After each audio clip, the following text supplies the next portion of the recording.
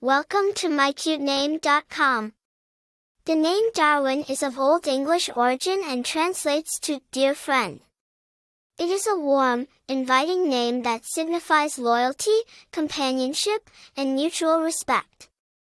Bearing this name may suggest a person who is friendly, approachable, and trustworthy, someone who values relationships and exhibits kindness and understanding towards others. The name Darwin is derived from the Old English elements der, meaning dear, and wine, meaning friend. It was initially used as a surname in England before gaining popularity as a first name. Perhaps the most famous bearer of the name is Charles Darwin, the British naturalist known for his theory of evolution and natural selection. His influential work, On the Origin of Species, has left a lasting legacy in the scientific community and has solidified the name's association with intellectual curiosity, critical thinking, and respect for nature.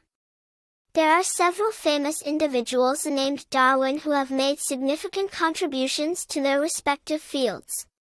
Besides Charles Darwin, there's also Darwin Barney, a professional baseball player, Darwin Deez, an indie musician, and Darwin Joston, an American actor.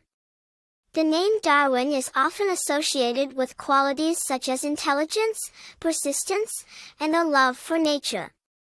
It is fairly uncommon as a first name, making it a distinctive and memorable choice for parents seeking a unique name with historical and intellectual connotations. In terms of the name's popularity, while it's not as widely used as some other classic names, its significance in the scientific community and its unique sound have kept it in use in various parts of the world. It's a name that carries a sense of respect and admiration, thanks to its association with one of history's most influential scientists. Choosing the name Darwin for a child could signify hopes for intellectual curiosity, kindness, and a deep respect for the natural world. It's a name that carries a lot of weight and significance, making it an impactful choice for a new baby. For more interesting information, visit mycutename.com.